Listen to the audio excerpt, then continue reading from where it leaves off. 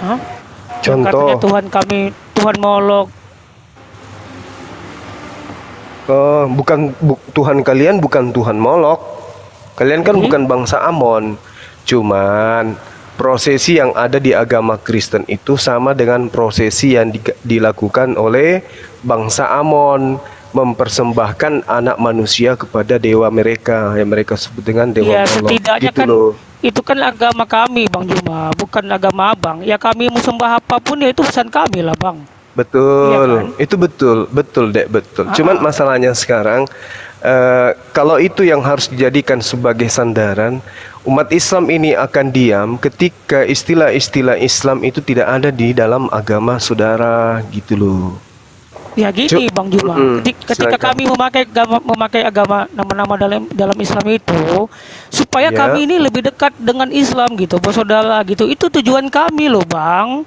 Ya, bukan, Bukan. untuk kami uh, bukan untuk kami supaya Mm-mm. supaya bermusuhan dengan Abang gitu. Tujuan kami Iya. supaya kita tuh semakin jadi so Hmm.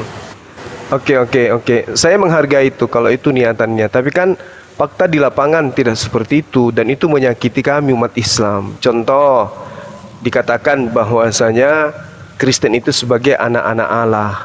Sementara Allah itu adalah kata yang disandang pada terjemahan kata Allah yang dalam bahasa Latinnya kemudian dibaca Allah. Kalian kemudian memplesetkan sikit menjadi Allah supaya menghilangkan jejak. Nah itu menyakiti hati kita umat Islam gitu. Kami adalah anak-anak Allah. Nah sementara kan kalau merasa dekat dengan Islam harusnya tahu dong bahwa di Islam itu lam yalid walam yulad. Allah itu tidak diperanakkan dan tidak beranak serta tidak diperanakkan. Kenapa Ya, enggak, Bu. tidak Gini- dihargai itu? Gini, gini loh bang. Kalau kami kan menurut Allah itu kan dari KKBI itu sendiri bang. Kami yang ikuti KKBI aja bang gitu loh. Bukan berarti Ya, kami KBBI. ikuti Tuhan Anda gitu. Justru KBBI itu menjelaskan Allah atau Allah itu adalah Tuhan pencipta langit dan bumi sembahan umat Islam. Coba Anda buka. Ha. Itu loh. Jadi kalau itu sudah hilang, Alkitab hilang, Allah hilang, Rasul hilang, Nabi hilang, iman hilang, ayat tidak ada lagi di dalamnya, syafaat dan seterusnya. Kita nggak perlu berdebat. Kita rangkulan untuk mengisi kemerdekaan ini. Tapi karena agama Kristen itu adalah agama siar, artinya agama yang mencari pengikut di luar eh, Kristen, maka umat Islam sebagai agama siar juga harus mempertahankan akidah itu. Maka muncullah kami apologet Jadi- Islam jadi gini, Indonesia. Bang. Sebelum untuk abang mengkaji- mengkaji membentengi Tuhan- itu loh. Sebelum abang mengkaji Tuhan Hmm. kami, bolehkah kami saya mengkaji Tuhan abang?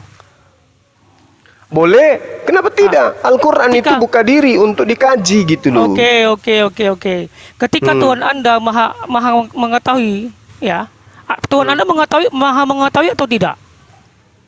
Jelas Tuhan saya Jelas. maha mengetahui itu pasti. Oke, Yes. oke, oke, oke.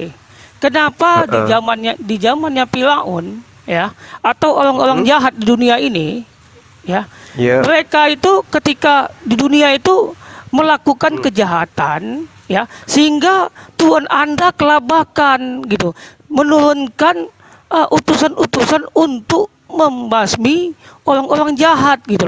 Seharusnya Tuhan Anda sudah tahu kalau dia itu bakal menjadi orang jahat sehingga tidak dilahirkan dan capek-capek untuk menurunkan utusan gitu loh.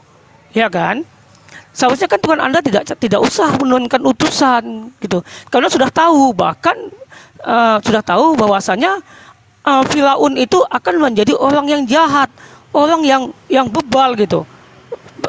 Tapi kan buktinya Tuhan Anda tidak tahu bahwasanya eh, yang yang dia ciptakan itu akan menjadi penjahat sehingga menurunkan utusan-utusannya gitu loh Bang. Coba. Oke, bagus. Eh, jadi gini, kalau eh, yang saudara saya, yang adik saya pikirkan itu adalah buah daripada pemahaman terhadap Islam, terhadap Tuhan yang kami sembah. Harusnya ya tidak mengambil kata Allah atau kata Allah ini, karena ternyata eh, hakikat yang telah yang telah kami sembah bernama Allah itu adalah hakikat yang tidak mengetahui. Nah, kenapa justru kata Allah itu diambil kalau begitu? Harusnya mengambil nama Tuhan yang Maha mengetahui gitu, supaya kemudian ya orang Kristen ini tidak dikatakan mengikuti Tuhan yang tidak Maha mengetahui, kan gitu poinnya. Kenapa justru ada kata Allah di dalam? Kenapa tidak gunakan kata Theos Tadi atau saya kata- Tuhan Abang mengerti atau apa? saya gitu? tadi, Bang. Iya. Bang Juma. Gimana? Mau saya ulang. pertanyaannya itu, jangan jawab dulu. Iya, saya ngerti, saya ngerti. Dengarkan dulu. Oke, oke, oke. Saya ngerti. Saya ngerti, saya ngerti. Saya paham bahwa Tuhan kami yang adalah Allah Anda tuduhkan kemudian kalau dia maha mengetahui kenapa dia menciptakan. Kan gitu menciptakan kemudian orang-orang yang akan ingkar kepada dirinya. Kan itu poinnya. Tetapi Anda lupa bahwa di dalam ajaran yang Anda ambil dari agama lain, di dalam kitabnya itu ada kemudian Sodom Gomora juga begitu adanya. Bangsa Amalek juga ada dibasmi, tidak bisa dibiarkan tidak dibiarkan apa pun yang hidup di sana bernapas yang ada di sana. Nah, kalau Tuhan dikatakan tidak maha mengetahui, lalu kenapa diadakan Sodom Gomora kalau ternyata ujung-ujungnya dibasmi? Atau jangan terlalu jauh kalau Tuhan itu maha mengetahui dan ternyata ketika ada kesalahan hambanya lantas dinisbahkan kepada hakikat Tuhan itu tidak maha mengetahui, maka kenapa Tuhan menciptakan Adam? Kalau Tuhan itu tahu bahwa dia akan ber, me- apa, melanggar sehingga keturunannya mewarisi dosa. Kan itu poinnya. Nah, jadi saya tidak perlu membahas itu. Sekarang yang perlu kita bahas, kalau wawasan Anda tidak luas terhadap konsep ketuhanan, Cukup Anda jawab dulu, kenapa nama Allah ada di dalam kitab saudara, sementara Tuhan Anda bukan Allah. Kenapa Silakan. itu? Iya, itu kan kami jelaskan tadi, Bang. Ini kan belum menjelaskan tadi, Bang. Kenapa kalau Maha mengetahui itu Allah itu menurut Iya, maksudnya kan supaya maksudnya supaya supaya teman alasannya kan supaya teman Kristen itu dekat ke Islam. Kan gitu tadi poinnya. Apalah artinya sebuah kedekatan kalau menyakitkan saudaranya sendiri? Tuhan kami yang adalah Allah itu tidak beranak, tidak diperanakkan, tidak pernah menjadi manusia, lalu mati dibunuh oleh manusia. Kenapa tidak pakai teos? Ini ke mana ini larinya? Yang saya tanyakan gitu ya bang, itu kan tentang Allah, ya udah kan Hmm. udah habis loh bang. Ini masalahnya Allah itu Enggak, maksud saya itu- gini loh. Tuhan anda kan katanya maha mengetahui, kan gitu. Itu pertanyaannya. Iya. Hmm. sama dulu.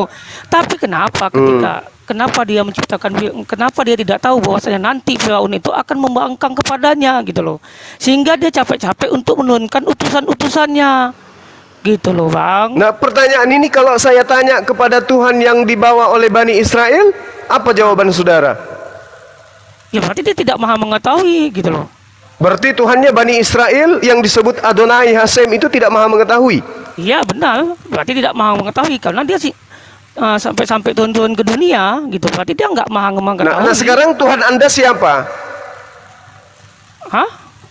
Tuhan anda siapa? Sekarang gini aja bang, itu yang saya tanya dulu bang. Masalah Tuhan. Enggak, enggak tanya, saya tanya dulu itu. Tuhan anda siapa? Jawab Anda dulu itu, mengatakan. Tuhan kami tidak mengetahui. Tuhannya orang Yahudi tidak maha mengetahui. Nah Tuhan anda sendiri bagaimana? Siapa Tuhan anda? Yang abang, abang kan nggak perlu tanya Tuhan saya. Eh jawab Bang. dulu itu eh. Loh, Jawab. harus supaya kita tahu apakah Tuhan Anda itu Maha mengetahui. Kan begitu. Menyalahkan Tuhan kami harus membenarkan Tuhan Anda. Tolong, siapa Tuhan Anda? Jawab. Ya gini loh bang, abang kan nggak. Eh jawab. Eh jawab. ampun. Siapa Tuhanmu? Pertanyaan saya tadi kan belum di- dijawab. Kalau saya Eh. pertanyaan saya sudah jawab, baru abang tanya siapa saya gitu loh. Sedangkan tadi saya abang bang bang Juma belum menjawab. Mungkin coba coba Makasih, mungkin bang Hendi bisa jawab coba. Coba bang Hendi mungkin bisa jawab Ateis kenapa dia kok Bang Hendi, ateis. Akunya ateis dia. Coba, coba, coba Bang Hendi mungkin tahu Enggak, jawabannya. Kenapa enggak. kok Tuhan Tuhan Anda tuh katanya Maha mengetahui Hmm. tapi tidak tahu bahwasanya Firaun itu akan membuat kekacauan gitu atau menjadi eh, orang yang paling kejam gitu, yang paling jahat gitu. Coba. Tapi Ya pertanyaan mengetahui. kita kan kan kita sudah jawab tadi. Nah sekarang tugas Anda menjawab Tuhan Anda siapa kan gitu dulu poinnya. Mana ada Bang jawab tadi Bang Bang Juma? Abangnya tak ke mana-mana tadi. Ah, Saya, aku udah aku udah aku, udah aku dengar dipakai handset nih kan. Tapi tak ke mana-mana abang jawabnya. Kamu pernah Apa? menjawab nggak sih pertanyaan? Hei, kamu dulu bener Bang Mak. Ah, ah. Sebelum lanjut, kau sebutkan dulu Tuhanmu siapa? Begitu dulu, ayo. Ya kan itulah. Ya nanti kalau udah selesai saya udah puas, baru saya jawab gitu loh bang. Yakin Karena- ya nggak kabur ya? Ah, ya. Oke, Ya, saya dulu, lanjut. Saya dulu, saya dulu Islam.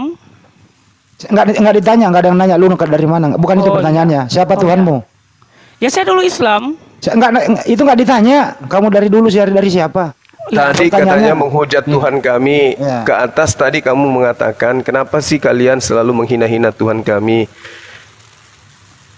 Kok ngaku Ya. Islam sekarang? Ya kami kan gini, gini loh bang aku bang. Hmm. Eh, Tadi kan tidak menghujat, saya kan bertanya gitu kan.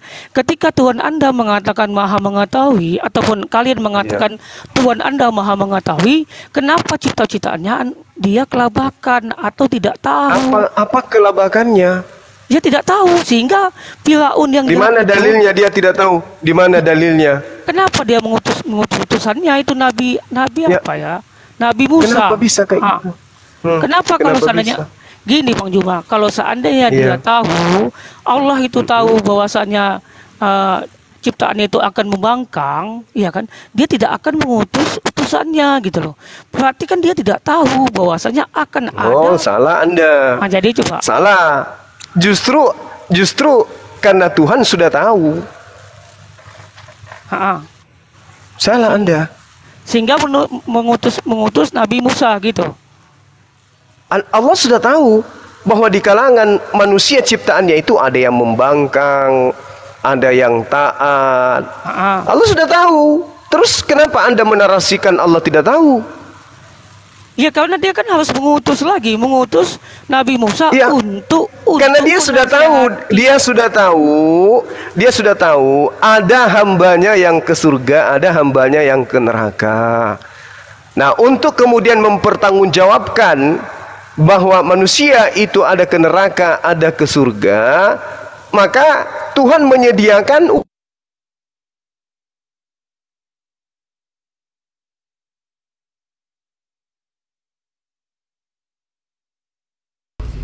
Cek cek cek kok nggak ada suara. Tunggu.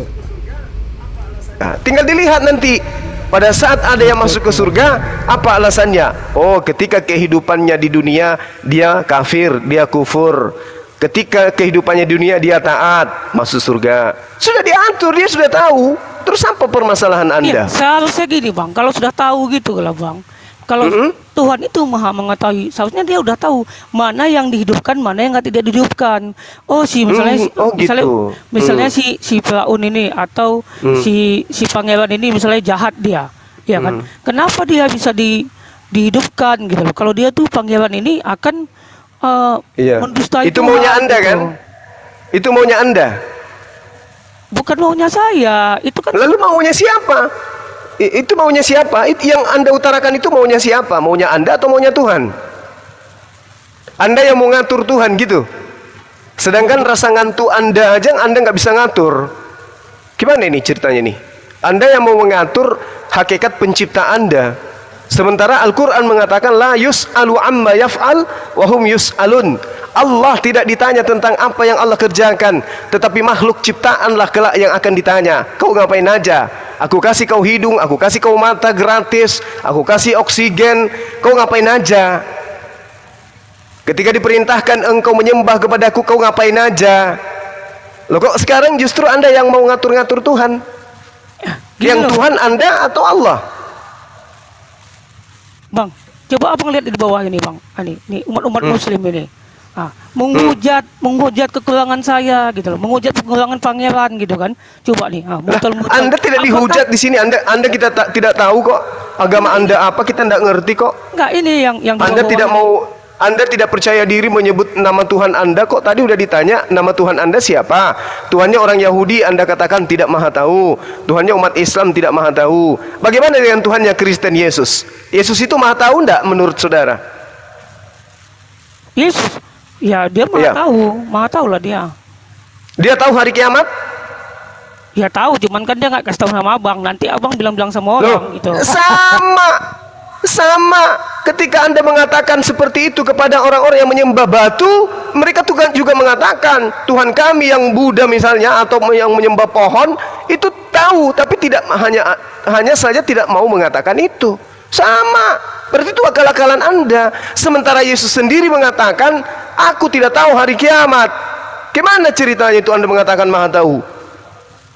Wah, Anda harusnya yang jadi Tuhan, gantikan Yesus. Gimana ini? Kena dia nih, terdiam dia, kena dia. Ya, kalau jadi pendapat baik kan gitu Bang Indi harus ketika lo ngomong ya diam ya kan. Nggak mungkin ketika Bang Juma ngomong saya ngomong itu namanya bukan diskusi.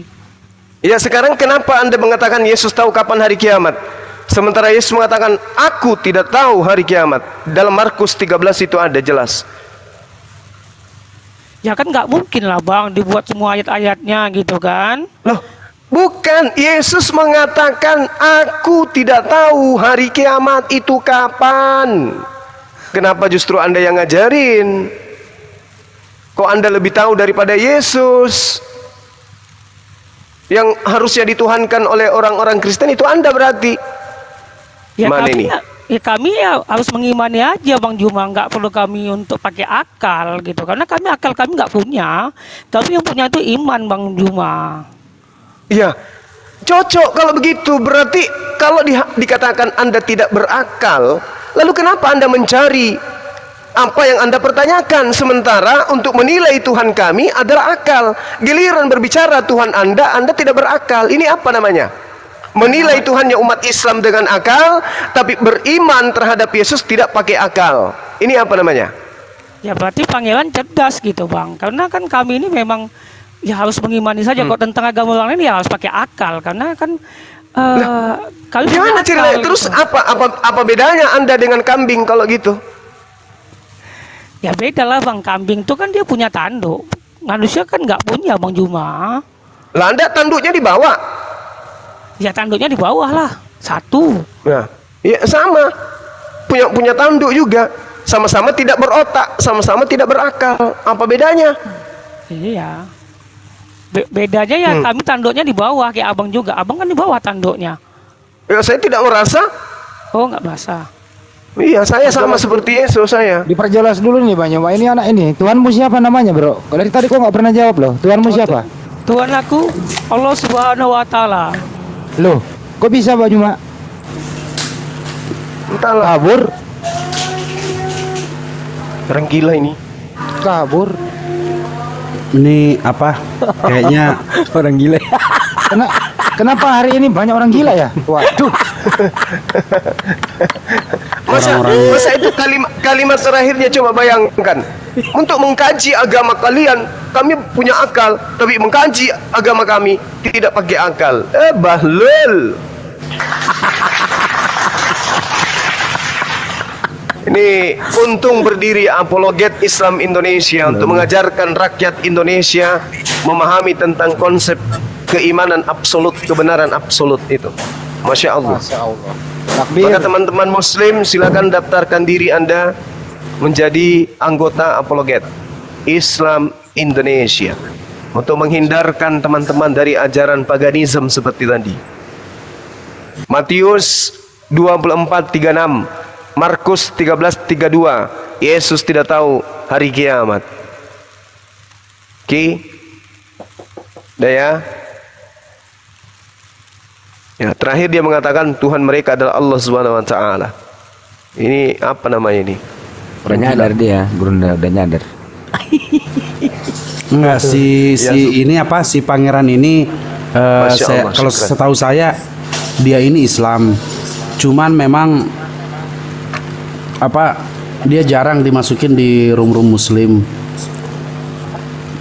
dan juga suka cari pel- perhatian gitu loh jadi Mungkin Islam Kayak- tapi udah sudah murtad karena tadi dia mengatakan Tuhannya Yesus. Iya, insya Allah ya. Astagfirullahaladzim. kalau dia kalau kayak begitu udah udah otomatis eh, ini murtad pasti Ya, udah 100% murtad karena dia menghujat Allah. Karena dia menghujat Allah. Mau bilang apa pun udah 100% murtad ya.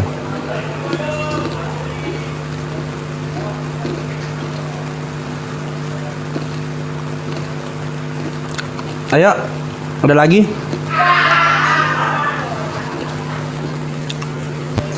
Dia murtad. Dia murtad. Kelihatan kan? On pastinya. Block. Block on.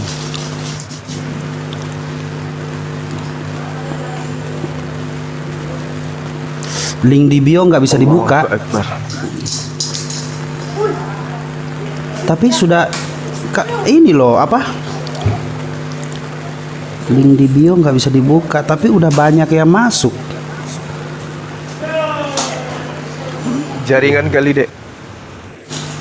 Ya, sekarang udah 200 lebih yang masuk.